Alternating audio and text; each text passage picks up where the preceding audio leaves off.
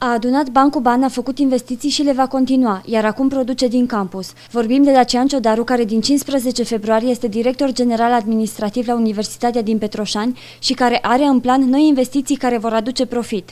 Primele proiecte vor fi și anume finalizarea proiectelor aflate în derulare, cum ar fi reabilitarea bazei sportive, dorind să avem o bază sportivă la standarde europene.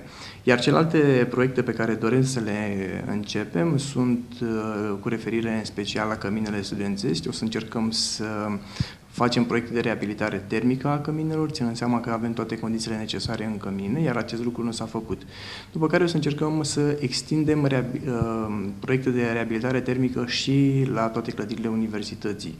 În același timp, uh, dorim să finalizăm și la baza sportivă, vrem să ne apucăm de terenul de iarbă naturală, acel de, pe care echipa de, de rugby își desfășoară activitatea.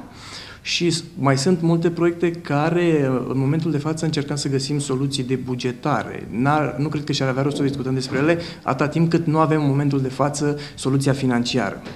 Căminele sunt închiriate la studenți și nu numai și administratorul spune că prețul pentru închirierea unei garsoniere este de 200 de lei de persoană. Pe lângă cazare se oferă și o cotă parte din consumul de energie electrică, internet și cablu TV sau o parte din consumul de apă e gratuit. În plus, universitatea câștigă și din închirierea spațiilor de sport, a sălilor de conferințe ori a cabanei din Parâng, pe care oricine o poate lua cu ziua.